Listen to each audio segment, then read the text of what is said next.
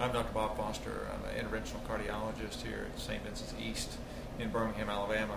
And, um, and what we're going to do is to try to open up a leg artery.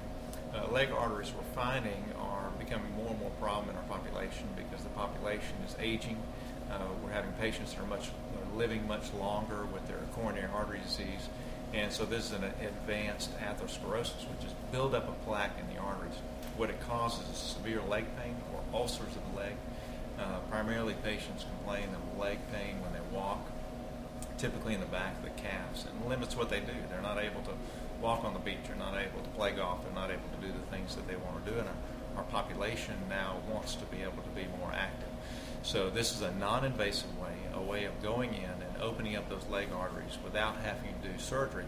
Most of these patients are elderly, although we're, we're finding a lot of patients, particularly diabetics and smokers, that are having this problem early on.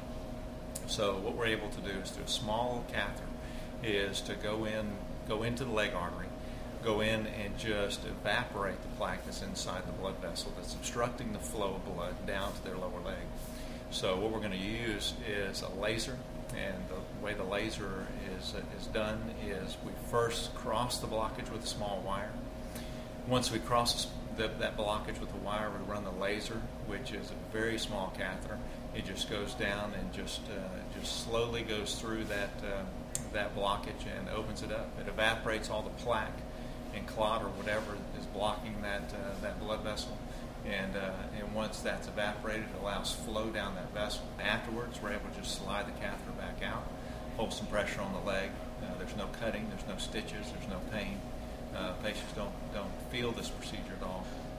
We give you a small amount of sedation, just enough to help you relax. There's no general anesthesia. The patient is awake. We can talk to you during the procedure. So it's a very low risk procedure because we don't have to give anesthesia. Uh, it's not a prolonged hospital stay after this procedure, we typically watch the patient overnight, let them go home first thing in the morning. They can drive the following day. They can do whatever they want to within two or three days and, um, and get back to their uh, normal lifestyle.